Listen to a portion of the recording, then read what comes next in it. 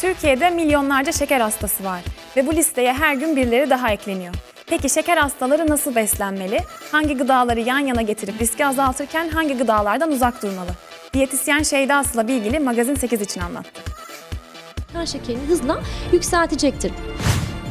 Şeker hastaları hangi besinleri tüketmeli? Bir kase kadar yoğurt tercih edebilirler.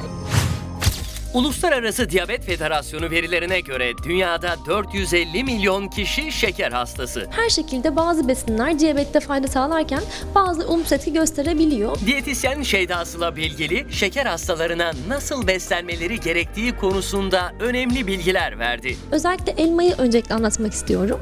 Elma e, glisemik indeksi diğer meyvelere göre birazcık daha düşük oluyor. O yüzden elma tükettikleri zaman e, kan şekerleri çok fazla hızlı bir şekilde yükselmeyecektir. Çünkü yavaş yükseltip e, yavaş indirdiği için çok sıkıntı yaşamayacaklardır. Ancak e, bunun dışında her meyve aynı etkiyi göstermeyebilir. Özellikle burada gördüğünüz muz gibi, e, burada göreceğiniz özellikle muzdaki glisemik indeksi yüksek besin gruplarından bir tanesi. Kişiler bunu tükettikleri zaman kan şekerleri çok hızlı bir şekilde yükselmeye başlıyor. Kan şekeri düşenler dikkatle beslenmeli. İncir ve kayısı potasyumdan zengin, demir içeriği yüksek, kalsiyumdan zengin ve lifli besinlerdir, lifli meyvelerdir ama bakıldığında şeker oranında birazcık diğer meyvelere oranla çok daha yüksektir. O yüzden burada çikolata gibi, incir gibi ya da kuru kayısı tüketecekleri zaman biraz daha temkinli olsunlar. Çünkü bunlar kan şekerini hızla yükseltecektir. Şeker hastaları Şeyda Sıla Bilgili'nin açıklamasına göre mutlaka elma, incir, muz gibi meyvelerin yanında destek ürünleri de tüketmeli. Normal meyve yedikleri zaman yani elma tüketirken bile bu tip besinlerde yanına mutlaka yoğurt, süt, ayran veya kefir gibi süt grubuyla beraber tüketmelerini istiyoruz. Çünkü o zaman kan şekerleri birazcık daha yavaş yükselecektir ve onlar için daha uzun bir tokluk hissi yaratacaktır. O yüzden burada göstereceğimiz şekillerde meyvelerinin yanına mutlaka böyle 4 yemek kaşığı kadar bir kase kadar yoğurt tercih edebilirler. Şeker hastalarının süt tüketiminde de tercih etmeleri gereken bir süt çeşidi varmış. E, Bunların dışında yine meyvelerin yanına kefirin dışında süt de tercih edebilirler. Ancak bazen sütün sindirimi zor olabiliyor. Bazen gaz, şişkinlik problemleri yaşayabiliyorlar. O yüzden belki laktozsuz süt de tercih edebilirler diyor. Yulaf da şeker hastalarına iyi geliyormuş. Diyabete iyi gelen diğer bir grubumuz aslında burada göreceğiniz yulaftır. Yulaf kepeği de çok etkisi olan bir e, besin, değeri yüksektir aynı zamanda. İçerisinde beta glukanlar var. Beta glukan sayesinde kan şekerini yükseltme değerleri yine düşmeye başlıyor. Bu da kişilerin sabah kahvaltısını sütle ya da yoğurtla beraber tercih edebilecekleri bir öğün haline geliyor. Bunun dışında yine e, kan şekerini dengelemek için özellikle ben tarçını önereceğim. Kabuk veya toz halinde olabilir, fark etmez.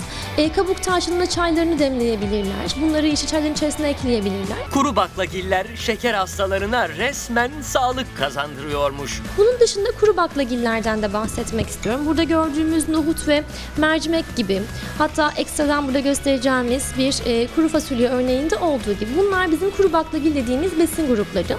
İçlerinde çok ciddi oranda lif içerikleri de yüksektir.